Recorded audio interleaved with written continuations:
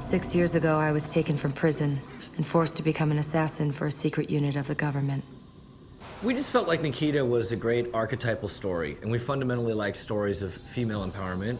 A Black Ops program called Division that has now gone rogue. We have strong women working together. To see a character that is so strong and so knows everything that she wants and just doesn't care, that's, that's very empowering.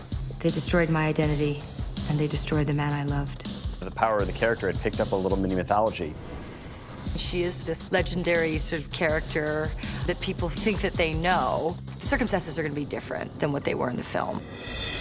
I escaped, and now the man that trained me, someone I trusted, is hunting me. We owed from the very get-go a new era of mythology, a new character to kind of bring that familiar viewpoint that people can relate to that don't know the history of Nikita. What Division doesn't know is that I have a partner on the inside, Alex, a new recruit with a dark past who I've trained in secret to resist their control. I knew that it had been done, and so that was my worry, that like, how are you gonna do it and do it fresh? Together, we're going to take Division apart, one mission at a time. In true, uh, you know, Craig fashion, we are going to be doing something very different and, and, and much more shocking. And the last word they'll breathe before the end will be my name.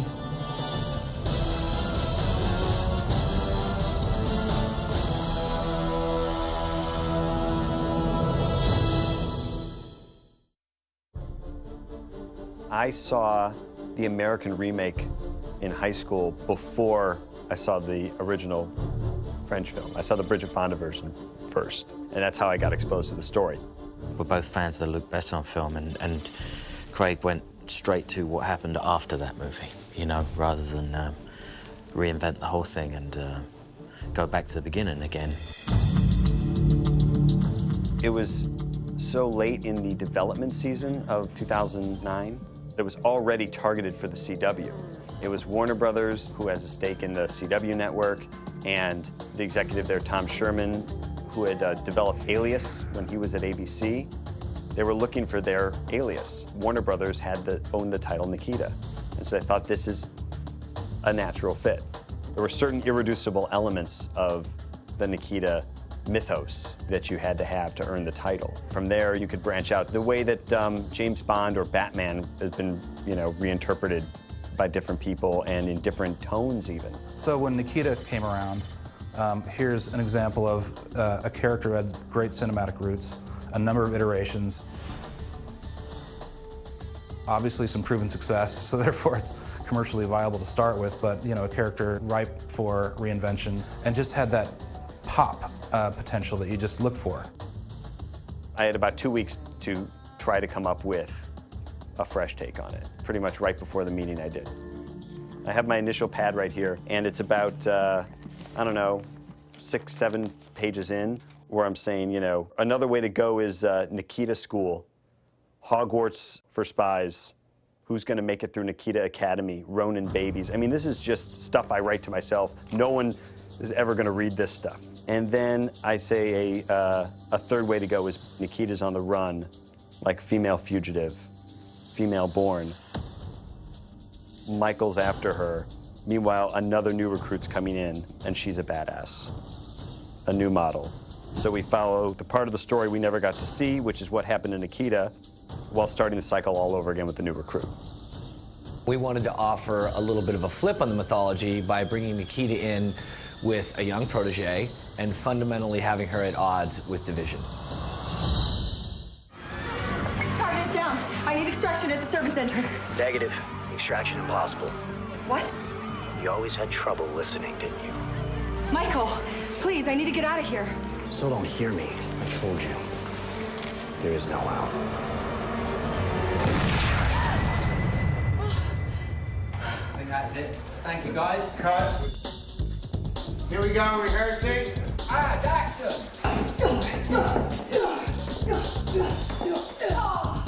The casting of the show was, was going to be incredibly important. You're casting people because deep down, what's inside, there's something in them that's like the character. One last time, please. All right, going again. You know, casting's the hardest thing ever.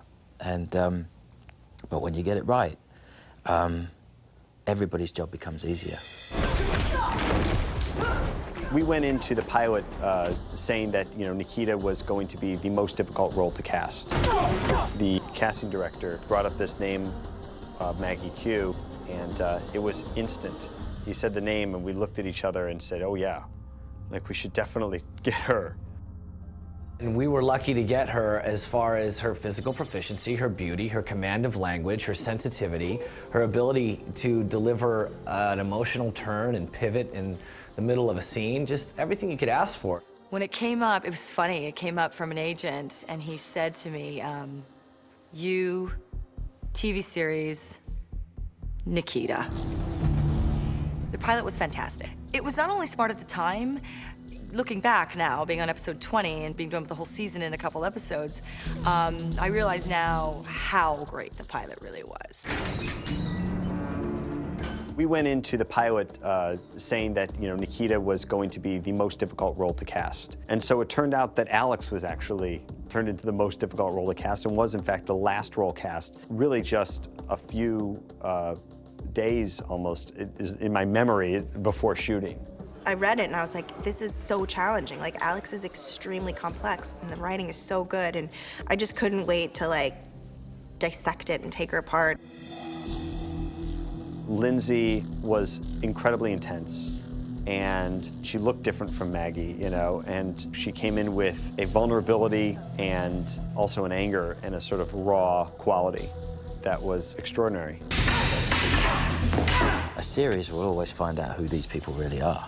I mean, in the end, you know, episode 20, you're drawing on who you are as a person all the time, you know, because you're working every day. That, drop it. Yeah. And then it'll be. The audition process was grueling, but it was well worth it. I was just really excited when I got the call. Robert Altman always said 90% of directing is casting, and I think we got that right with Maggie and with Lindsay. And we've had a very wonderful experience with Craig guiding the show and making the adjustments as we go. A little more of this, a little less of that. Let's, you know, make the adjustment here and there. It's a heightened character, and you've got to believe that they went through what they went through and that they're able to hold a gun and, you know, have this action, have this dark past. That is a lot to ask uh, of any actor. I do believe in the character, in the reality of it, uh, because of her. That's huge.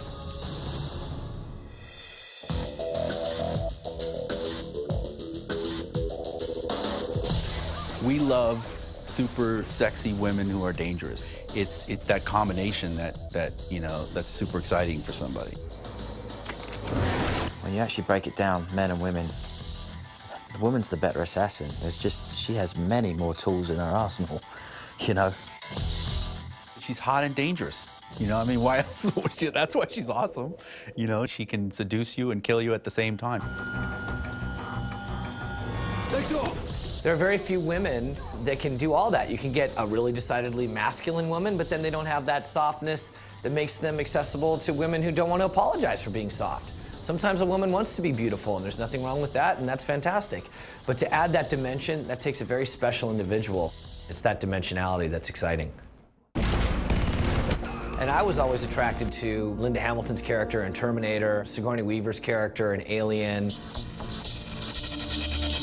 Ripley's drive to protect Newt and the alien queen's drive to protect its young. But there, are these two women of different species are facing off against each other at the end, and all the men are either uh, wounded or, you know, sliced in half. If you took 10 kids, five boys and five girls, and you asked them, draw a warrior, most of those kids, I think, are going to draw a man. So to put a woman in that role um, and to have that strength, and you've got those two sides of that sort of, you know, um, that intuition, it raises the stakes, really, to have a female assassin. While I do think that, you know, the physical strength and skill is an important part, I, I really do feel like the strength is internal. And when I think of a strong female character, I think of someone who is confident, knows their weaknesses and their strengths, and is able to use both of those things to their advantage. We have the saying in the writer's room about Nikita walks among us, which, which is very important because it, it reminds us that Nikita has to be within our world. Normally, where that comes out is in her emotional interactions with other people. Look, we all wear masks. Everyone, every day, and sometimes we wear them so much, we forget who we really are. You have to have that vulnerability, and I think it it's accented by the fact that she is this woman going up against these big, huge, strong guys and kicking their asses over and over again. I think it heightens it even more because it's not what you're expecting. She works on her own, she figures out problems on her own, she hacks her computers, and then she goes out in and amongst the people on these missions. She is a strong, independent, for the most part, solitary character that, you know, lives in this lair on the top of a building. It's a great uh, graphic novel image, really. We would joke a lot about the fact that she's Batman, you know, and the fact that she's this cool, you know, she's this dark knight who descends from, you know, descends from above and takes out a bunch of guys and you know but then again who is batman and that's when you stop and you think and you say how can you make batman real and she does not have a bruce wayne she does not have an alter ego so she doesn't have that simple of a sort of a human side but she does have everything else that an epic character like batman has which is a tortured past you know a series of incidents in her past that made her what she is and a sort of devastating and deadly talent that she's not always comfortable with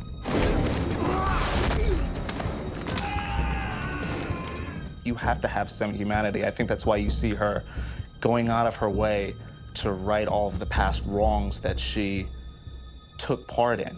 I mean, she's carrying the weight of the entire world on her shoulders, basically, in, in the first season. And you can't not help but feel for that. But she's also trying to put things back together with the man she loves. At its core is a person who has been wronged and because they were wronged has been forced to do all these horrible things and is now trying to come back from that. And in doing that has recruited another person who has her own baggage and her own problems and her own emotions to work through. So they're emotional people in a high stakes situation, which is what you want in a show like this.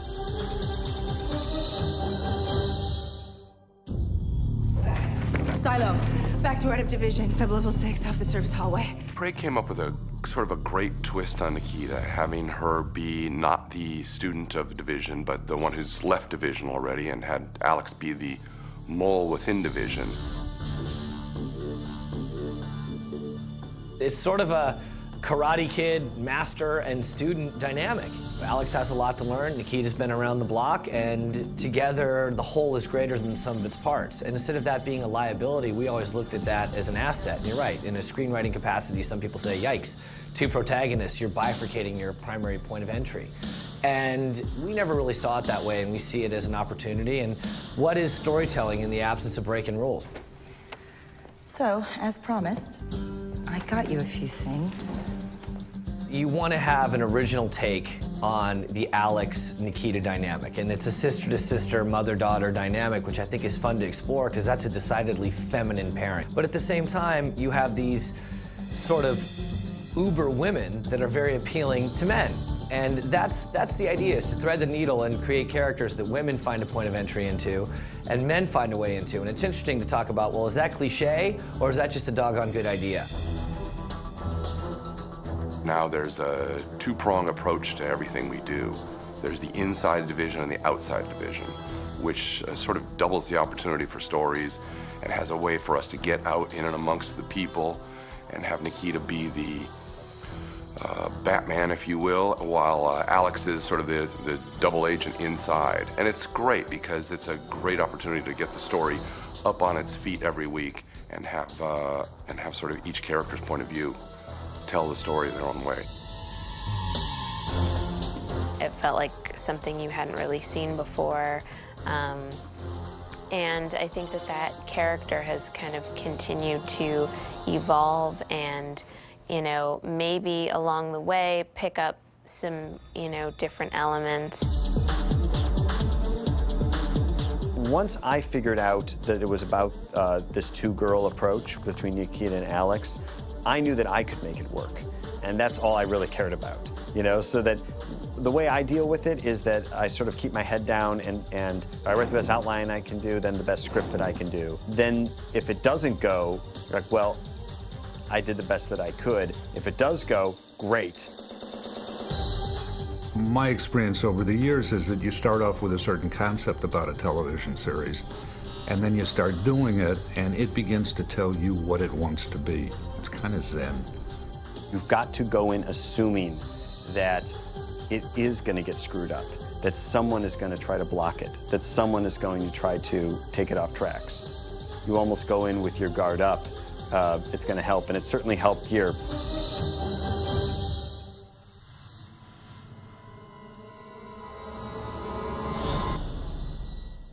The key to any television series, as far as I've been concerned for all the time I've been doing it, is the writers you have working on it. Bravo, Mark. For me, it's about hiring writers who are self-starters and are kind of all around. You know, it's not like you're the dialogue writer, you're good at action scenes. You know, some people I think do put together a staff like that, but I want everybody to be sort of able to create a story from beginning to end, because that's how you get the best talent. Somebody once said that uh, you have a true mastery of something if you can explain a complex concept in the simplest of terms. And that was the impression I had of Craig uh, going into the room when it comes to story.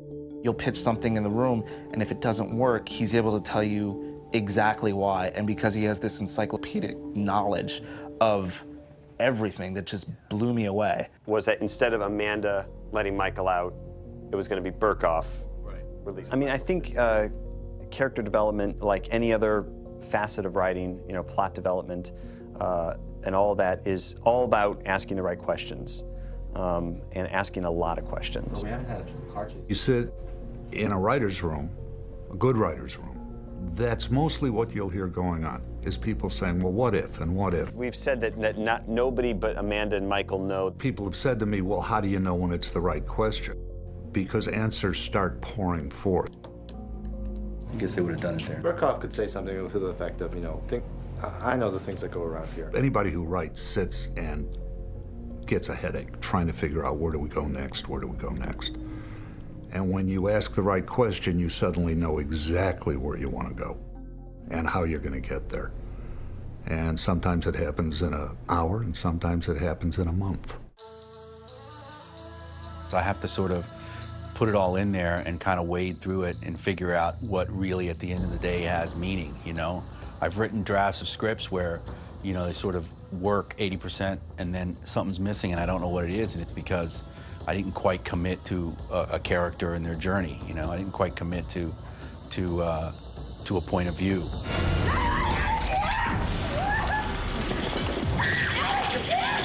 Every writer has his or her own process. Um, in my former life, I was a journalist, so I tend to uh, be very research-based in my approach to story. So uh, before breaking a story, I often need to get immersed in the details of a story and then find plot and character development from there.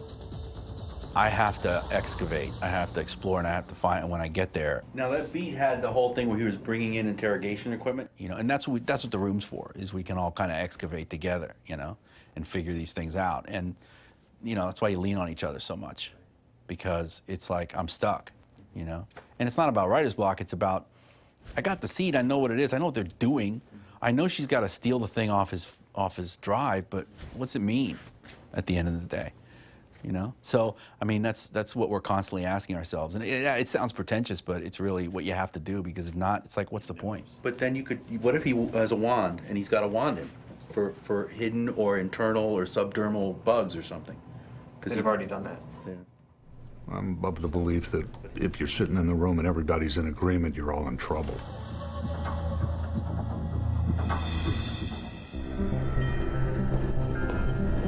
You're looking for something.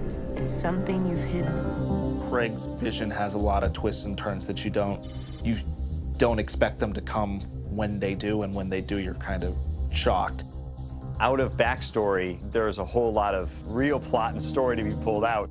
I come up with these super detailed and rich backstories, and then I'm thinking, well, how are we, how are we going to access this stuff? How can we use this? This is this is really cool, you know. And that's all before we figure out what the plot of the actual episodes is going to be. You sit there and you think to yourself, okay, she's cool, she's sexy, she's hot, she's killing people, but she's wait a minute, she's killing people. She's killed a lot of people, right? What does that mean? Probably not anything good. And she's probably carrying that around. It probably hurts. So how would that come out in the scene? I know more about division than you'll ever know. They promise you this productive life. You know what you're gonna do? You're gonna kill, and you're gonna kill, and you're gonna kill some more. And one day, if you're very lucky, you're gonna remember what it was like to be a human being.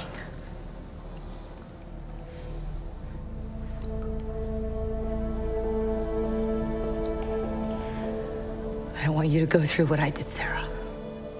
All of the writing on the show is very collaborative. We're always sort of um, pitching ideas to the other writers, uh, reading drafts, breaking stories together. So um, we're all very uh, aware of what the tone of the show should be.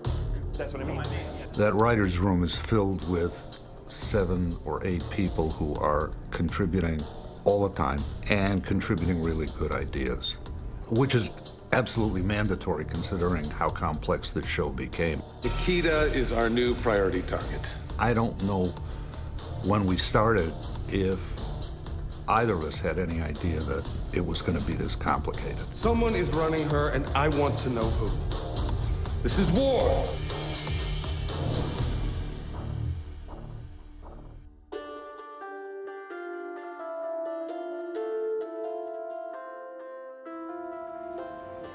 Um, it takes someone special like Craig, who, who I think has had the first to the third season already, already semi-mapped out in his head before um, the pilot even began.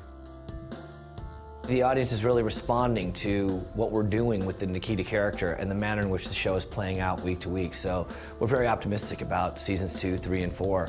And we've arced out where the stories are going to go. And I certainly hope we get the opportunity to tell those stories because Craig's up to it, Danny's up to it, and we're up to it. Rolling. That's what I'm here for. Tell me how I can help. You can help me get out of here. Warner Brothers has supported it from the get-go. They've been terrific. The CW's been terrific. Craig had told them going in what this show was going to be. Action!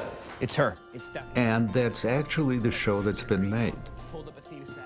Because I had a strong vision for it, I would say that that's the, the first and, and foremost thing. Now, having said that, I absolutely listen to everybody from the actors to the studio to the network to my writing staff because in a way that's the audience. They react to it as uh, the audience you know would I say if you write something and they go I didn't get this you know you're like what do you mean no you're like why didn't they get it?